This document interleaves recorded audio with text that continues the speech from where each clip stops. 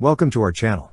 Don't forget to subscribe and put likes, because your support is important for us. And here we go. The Altug represents a novel addition to Turkey's armored vehicle inventory, crafted by BMC, a company renowned for its expertise in truck and bus manufacturing alongside military vehicle production. Engineered with a modular framework right from its inception, the Altug boasts versatility in design, enabling the production of diverse variants tailored for various missions and armed with different weapon systems. Exhibited in two primary configurations, the Altug 8x8 ZPT serves as an armored personnel carrier, while its counterpart, the Altug 8x8 ZMA, functions as an infantry fighting vehicle. Notably, developers have hinted at the potential for a 105mm turret configuration, indicated by the 8x8 designation, suggesting prospective adaptations. The Altug prioritizes adaptability in its protective features, with customizable levels of ballistic and blast resistance to suit specific mission exigencies. It incorporates an NBC protection system, alongside fire extinguishing and explosion suppression mechanisms. Complementing its defensive capabilities are advanced detection systems, encompassing laser and gunshot warning systems. Equipped with a cutting-edge fire control system boasting enhanced target acquisition and tracking capabilities, the Altug also integrates modern communication and battlefield management systems, ensuring seamless operational coordination.